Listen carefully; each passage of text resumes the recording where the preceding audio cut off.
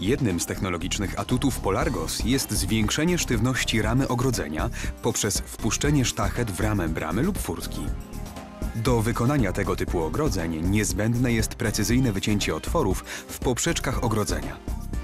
W tym celu Polargos wykorzystuje wysokowydajny system cięcia laserem.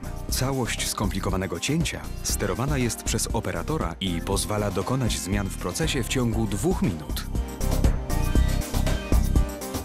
Parametry do kontrolowania procesu wyświetlane są na monitorze urządzenia.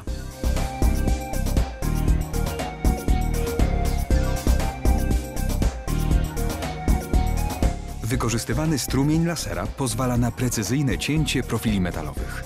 System laserowy umożliwia wycinanie dowolnych otworów i kształtów. Polargos wykorzystuje możliwości urządzenia także do wycinania otworów montażowych.